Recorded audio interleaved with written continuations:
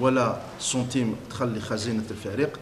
الانتدابات تاع اللاعبين كانت عن طريق صكوك ضمان يعني قدمنا دي شاك دو غارونتي للاعبين هذو اللي نشكرهم على آه، يعني آه، باش قبلوا لنا هذا آه، هذا الصكوك بالنسبة للشركة الوطنية إحنا منذ مدة وحنا ننادوا بشركة وطنية ككل الفرق الأخرى. رانا ننادوا ونطالبوا إحنا إذا كان شركة وطنية تجي تحكم الفريق الآن مرحبا وسهلا من هذه الدقيقة مرحبا وسهلا بها. وكنا عدة مرات تكلمنا وقلنا إحنا كما الفرق الأخرى كذلك نحوسوا على شركة وطنية اللي تحكم هذا الفريق مرحبا بها في أي وقت.